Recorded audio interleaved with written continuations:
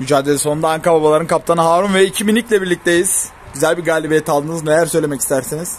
Ee, öncelikle teşekkür ediyorum rakibimizin ayaklarına sağlık. Ee, burada iki tane geleceğimizin inşallah Allah nasip ederse ilerleyen yıllarda milli takımda göreceğimiz iki tane yıldızımız var.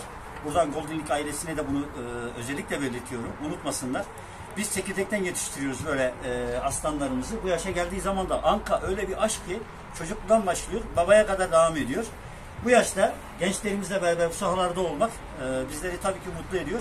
Bu arada e, bizim takımımızın Anka Spor 2011 e, yaş kategorisinin orta saha oyuncusu Eymen yanında. Aynı zamanda da oğlum ve aynı zamanda forvet oynayan ve orta saha oyuncusu Ahmet Yaşar yanımda. Size de bir şeyler söyleyecek misiniz çocuklar?